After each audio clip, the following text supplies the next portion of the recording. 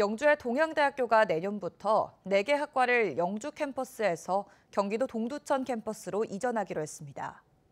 이번 결정으로 동양대 신입생 정원은 이제 영주보다 동두천 캠퍼스가 더 많아졌습니다. 대학 측은 영주 캠퍼스를 철도 중심으로 특성화하려는 전략이라고 설명했지만 신입생 충원에 어려움을 겪던 영주 캠퍼스를 정리하려는 것 아니냐는 우려의 목소리가 나옵니다. 이도훈 기자가 전합니다. 영주의 동양대학교가 경기도 동두천시의 제2캠퍼스를 개교한 건 지난 2016년. 이 당시 동양대 전체 신입생 입학 정원은 1,100명이었습니다. 영주에 700명, 동두천 캠퍼스에는 400명이 각각 배정됐는데 내년부턴 이 비율이 역전됩니다. 동양대학교는 영주 캠퍼스의 몫인 150여 명을 내년부터는 수도권인 동두천 캠퍼스에서 모집한다는 계획입니다. 본교인 영주 캠퍼스에는 철도대학을 비롯한 11개 학과만이 남습니다. 그 결과 모집 정원은 천여 명 그대로지만 약 5대 5 비율이던 영주와 동두천 캠퍼스의 입학 정원 비율이 4대 6으로 동두천이 더 많아지는 겁니다. 세부 전공별로 경찰 범죄 심리학과, 유아교육과 등 4개 학과에 모두 155명이 동두천으로 이동하는데 영주 캠퍼스에서 상대적으로 인기 학과로 꼽히던 전공들입니다.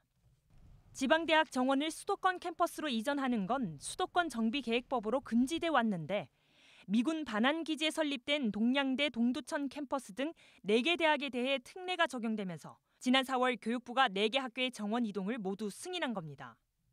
동양대는 영주 캠퍼스를 철도 특성화 캠퍼스로 전환하려는 전략이라고 설명했습니다. 본교는 철도대학과 베어링 관련 학과 그리고 간호학 관련 학과들이 여기서 이제 특성화를 추진할 예정입니다. 철도대학과 베어링 대학은 영주가 갖고 있는 베어링 산업 기반들이 있고요. 하지만 영주시는 학교와 사전 논의도 없었다며 당혹감을 감추지 못했습니다. 영주시는 지역대학 학생들에 대한 장학금으로 30억 원의 예산까지 책정해둔 상태였습니다. 저희들 동양대학에 장학금 지원이나 이런 사업들을 진행하고 있는데 동두천으로 사실 이전을 많이 해간다면 저희 시로 봐서는 좀 가슴 아픈 일입니다. 한데 그 사유가 뭔지를 한번 알아보고 저희들도 대응을 하도록 그래야겠습니다. 동양대 주변 상인들도 걱정을 쏟아냈습니다. 내년 되면은 아마도 더 줄 것 같아요. 제 생각에는 신입생도 그만큼 많이 모집이 안 상황이고 더군다나 또 저쪽으로 간다 하면 그거는 더 큰 손해를 볼 수 있을 것 같아요.